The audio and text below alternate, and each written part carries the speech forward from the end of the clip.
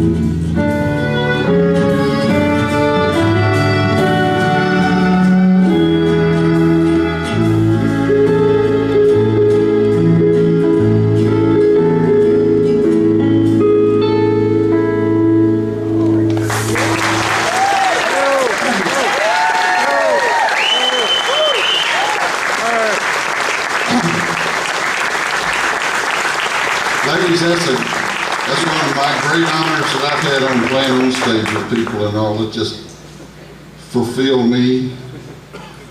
And uh, I hope I didn't forget where I was supposed to be at or something, but sure did feel good. It's hard to concentrate when you got stuff like that going on. You, you get into the music and you forget, hey, you're supposed to be paying attention to what part you're on. But that was so much fun, and I'm gonna let these ladies, you know, get their stuff off the stage and on